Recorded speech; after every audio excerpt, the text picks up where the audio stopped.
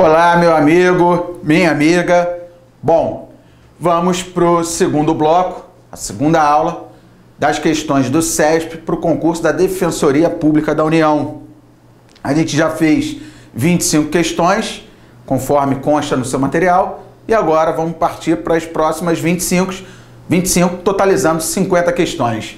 Começando, portanto, na questão de número 26. Se porventura você está me acompanhando hoje e não me acompanhou ontem, se por um acaso está vendo esse vídeo primeiro, antes de ter visto o vídeo que eu já gravei e que foi parte de uma aula ao vivo, é... eu me apresento novamente. Eu sou o professor Roberto Shapiro, professor de Administração Financeira e Orçamentária, e a gente está fazendo esse trabalho aí em conjunto para te dar uma orientação sobre a abordagem da banca CESP. Beleza, vamos lá, questão de número 26.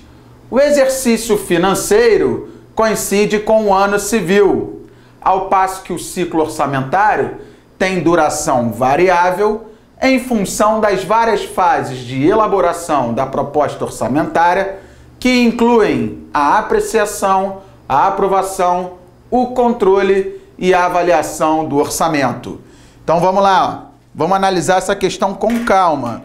De fato, o exercício financeiro período em que vai vigorar, vai ser executada uma lei orçamentária anual. De fato, ele coincide com o ano civil? Sim. Beleza. Até aqui está perfeito.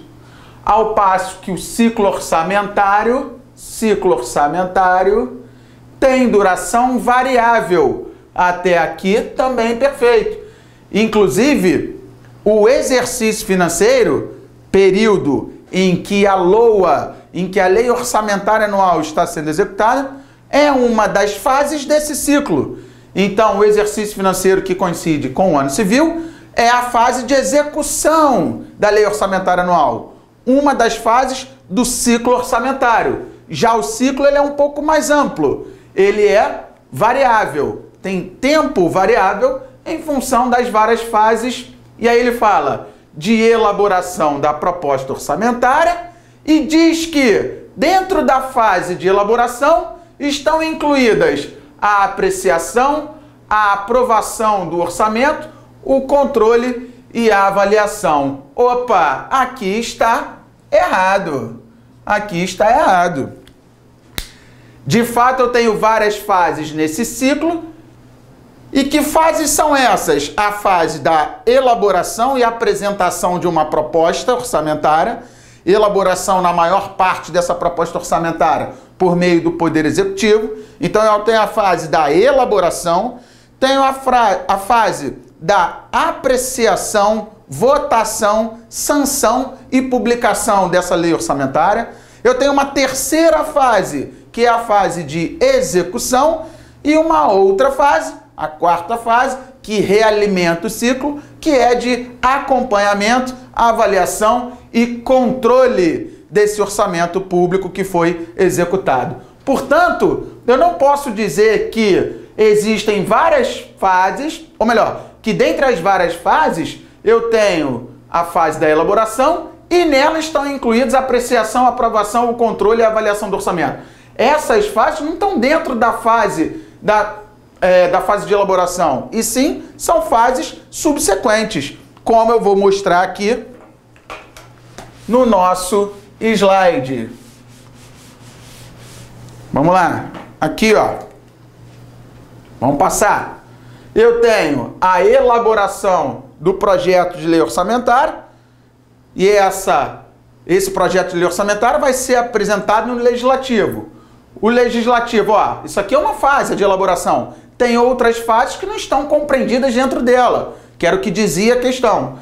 Eu tenho a fase da apreciação e aprovação, lá no Poder Legislativo, e é devolvido ao Executivo para sanção e publicação. E aí entra uma outra fase de execução e uma outra fase de acompanhamento e avaliação e controle da execução orçamentária. Então, de fato, eu tenho diversas fases por isso o ciclo orçamentário é maior que o exercício financeiro. O exercício financeiro seria essa fase aqui, onde a LOA está sendo executada e esse exercício financeiro em que a LOA executada coincide com o ano civil, mas eu não posso dizer que essas várias fases estão compreendidas dentro da fase de elaboração, como preceituava a questão. Olha lá, o ciclo orçamentário tem duração variável? Sim. Em função das várias fases? Sim. Que fases são essas? Fases de elaboração da proposta orçamentária, beleza. E aí ele diz que essa fase da elaboração inclui a fase da apreciação e aprovação. Olha aqui, olha o que ele fala. Que dentro dessa fase de elaboração eu tenho a fase de apreciação e aprovação. Isso não é verdade, é por isso que o gabarito está errado. Ele induz o candidato ao erro, porque realmente o ciclo orçamentário ele tem uma duração variável em função das várias fases que existem, que compõem o ciclo. Essas fases são a da elaboração e ainda fases que se sucedem como apreciação, apro aprovação, execução, controle e avaliação do orçamento. São fases que vão se sucedendo e não estão compreendidas dentro da fase de elaboração. Portanto, questão de número 26 tinha que tomar um certo cuidado porque ela está errada. Vamos lá para a questão de número 27. É permitido o início de programas ou projetos não incluídos na LOA, desde que seja justificado ao Poder Legislativo. Errado. Já vou até botar o gabarito, ó. Errado. Lá, no, lá na Constituição Federal, no artigo 67, eu tenho as vedações constitucionais relativas à matéria orçamentária. E uma delas é exatamente essa. Não se pode iniciar um programa de trabalho ou um projeto a ser desenvolvido pela administração pública sem que haja previsão orçamentária sem que esse programa ou projeto esteja incluído na lei orçamentária anual. Não pode se iniciar um programa, em outras palavras, não posso realizar despesas que não estejam contempladas na lei orçamentária anual. Isso é uma vedação, ou seja, uma proibição trazida pelo artigo 167 da Constituição Federal. Então está errado. Desde que seja justificado ao Poder Legislativo? Errado o gestor público só pode iniciar programas, projetos, só pode realizar despesas se essas despesas, esses programas, esses projetos tenham sido previamente aprovados na lei orçamentária anual pelo Poder Legislativo. E não é fazer sem ter previsão para depois justificar ao Poder Legislativo. Isso não é uma situação possível. Claro que na prática isso acontece, mas o gestor público que faz isso, ou seja, inicia projetos, programas, sem ter previsão orçamentária, sem estarem contemplados no orçamento, o gestor que faz isso pode ser responsabilidade, responsabilizado. Na prática isso pode ocorrer, mas não é uma boa prática de administração pública. Logo, esse gestor pode ser responsabilizado. Essa regra é absoluta na Constituição Federal. Não se pode iniciar programas ou projetos não incluídos na LOA, não contemplados na Lei Orçamentária Anual. E não tem essa ressalva, não. Não se pode, em hipótese alguma, caso isso seja feito na prática, o gestor público pode ser responsabilizado. Então, o gabarito dessa questão é errado. Vamos lá para a questão de número 28. De acordo com as normas constitucionais, julgue o item a seguir relativo às ações dos órgãos e autoridades públicas. Beleza? Constatada a ausência de dotação orçamentária para a realização de despesa pública, determinado órgão poderá efetivar sua execução, ou seja, a execução da despesa, no exercício em curso, desde que, antes de assumir a obrigação, ou seja, a obrigação de se realizar a despesa, obtenha a inserção da referida dotação no projeto de lei orçamentária do ano seguinte. Errado! Conforme eu falei na questão anterior, o gestor público só pode realizar despesa pública desde que ela esteja contemplada na lei orçamentária anual. Do, contemplada por meio de uma dotação orçamentária, de um crédito orçamentário. O gestor público só pode realizar despesas se, na LOA que está em vigor, essa despesa esteja contemplada por meio de uma dotação orçamentária e, obviamente, com saldo suficiente para que a despesa possa ser realizada. Não existe esse papo de que, não tendo dotação orçamentária, o gestor público pode realizar a despesa desde que ele inclua no projeto de lei orçamentária do ano seguinte a dotação da despesa que ele está fazendo nesse ano cuja LOA em vigor não autorizava a sua realização. Não existe essa hipótese.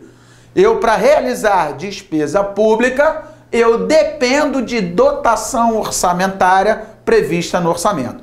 Caso essa dotação não tenha sido inicialmente contemplada no orçamento, eu posso lançar mão da figura dos créditos adicionais, ou seja, adicionar um crédito orçamentário na LOA para atender a despesa que eu pretendo realizar, tendo em vista que inicialmente a LOA não contemplava aquela dotação orçamentária. Nesse caso, seria um crédito adicional, porque ele é adicionado à LOA, do tipo especial. Crédito adicional especial, para atender despesas que inicialmente não estavam contempladas na lei orçamentária anual. Mas o fato é, eu para realizar a despesa, primeiro tem que adicionar o crédito. E aí, conseguindo adicionar o crédito, é claro que existem algumas regras para isso, conseguindo adicionar o crédito na LOA, aí sim eu vou ter crédito contemplado na LOA em vigor para poder realizar a despesa. E não inserir uma dotação orçamentária, um crédito orçamentário, no projeto de lei orçamentária que vai vigorar no ano seguinte. Isso não faz sentido. Beleza? Então a questão aqui, 28, está errada. Vou ler de novo para gente é, fechar o raciocínio.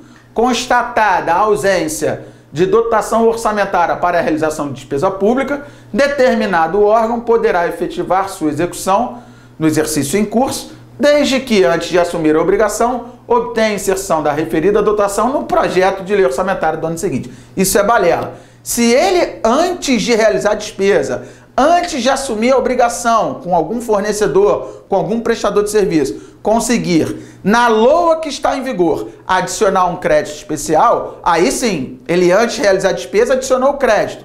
Esse crédito é adicionado com crivo do legislativo. Aí sim, ele vai possuir crédito para realizar aquela despesa. Não existe essa história de realizar a despesa sem ter dotação orçamentária e não existe essa história de que ele realiza a despesa mesmo sem dotação, desde que no projeto de lei orçamentária do ano seguinte ele consiga incluir, incluir essa dotação. Não existe essa história. Fechado?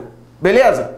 Na prática, Chapiro, você que trabalha lá no Tribunal de Contas do município, na prática, você já viu o gestor realizando despesa sem ter dotação orçamentária para tal? Na prática, a gente vê isso de vez em quando? Sim, mas aí o gestor público que realizou a despesa sem ter previsão orçamentária para tal, esse gestor pode ser responsabilizado. É aí que atuam os tribunais de contas, é aí que a gente vai ouvir o gestor do motivo pelo qual ele realizou uma despesa que não estava contemplada no orçamento.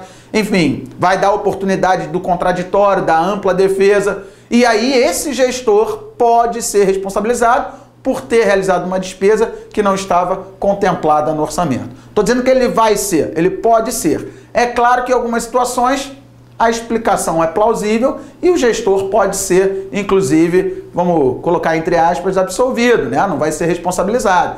Às vezes, uma situação que ele precisou fazer aquilo e foi entendido que foi razoável aquela ação, porque ele queria proteger um bem maior e etc e tal. Mas isso é caso concreto, caso a caso. Você não pode esquecer que, para efeito de prova, a despesa pública só pode ser realizada se na LOA que está em vigor, na LOA que está sendo executada, houver dotação para realização daquela despesa. Beleza? Então, questão de número 28 está errado. 29.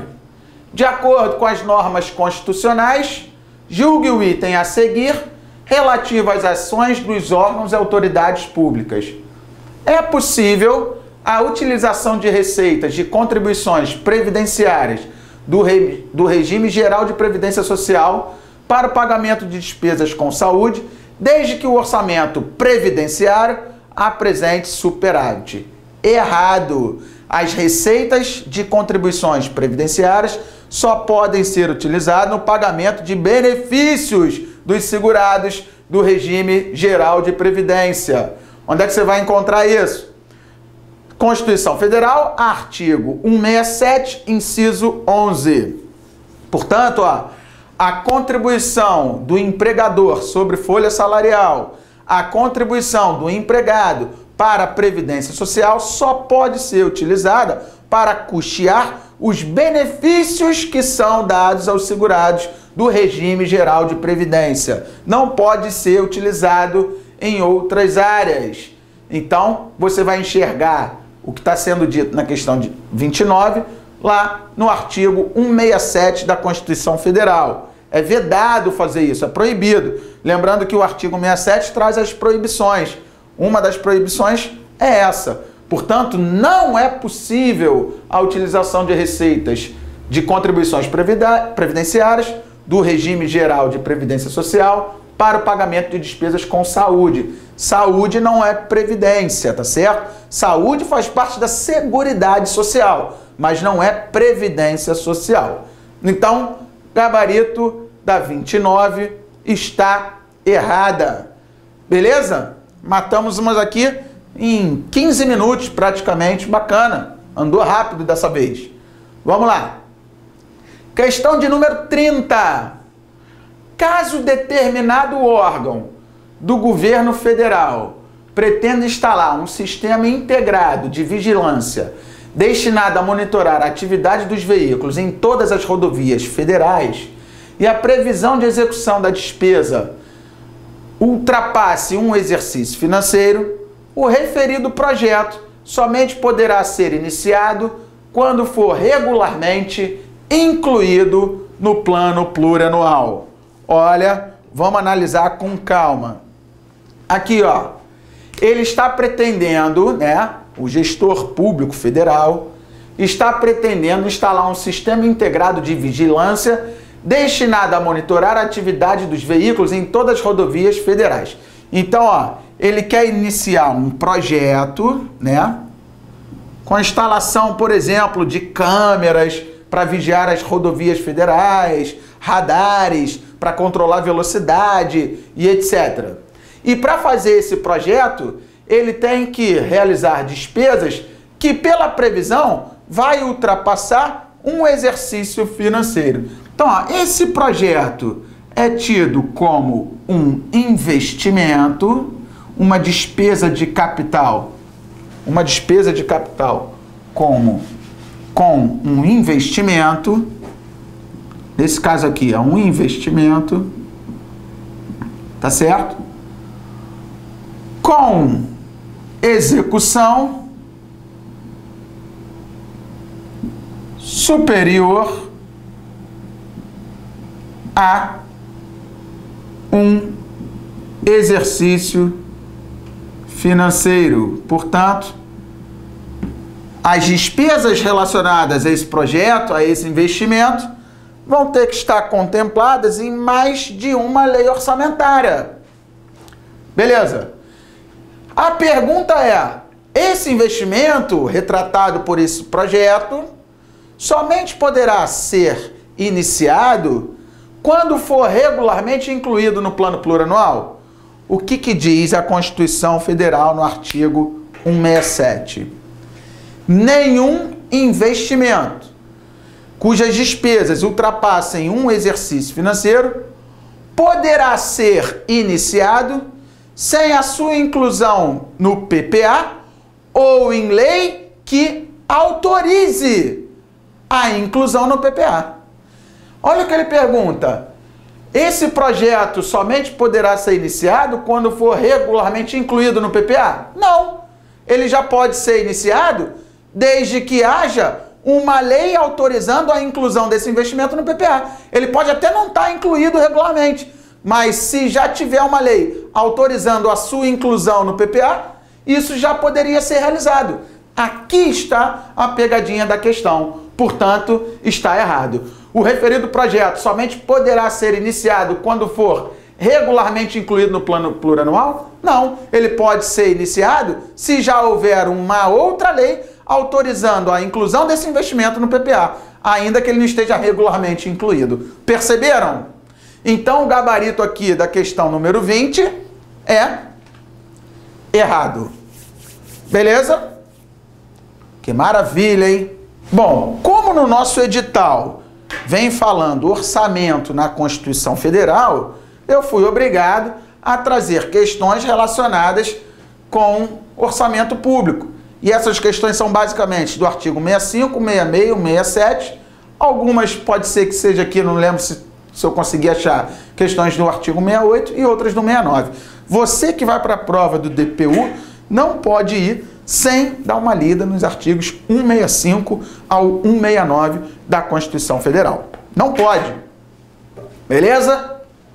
Então, gabarito da questão de número 30, errado.